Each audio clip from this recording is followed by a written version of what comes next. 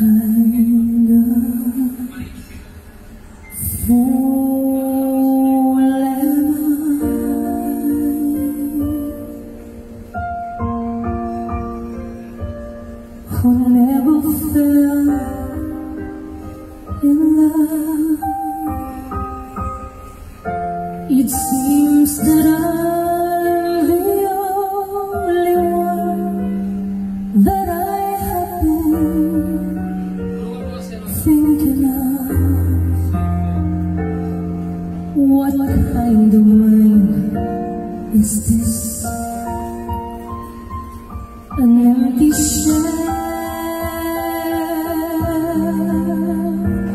A lonely cell in which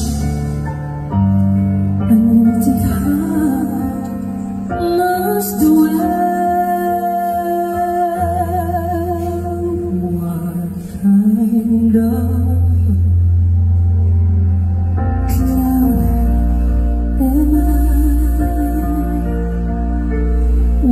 to one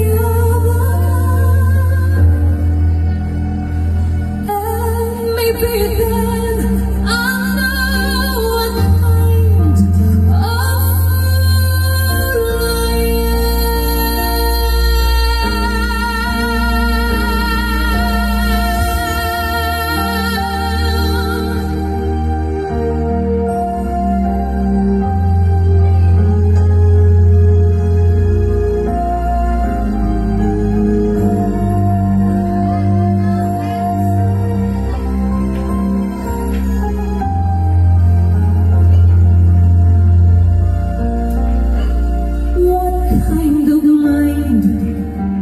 This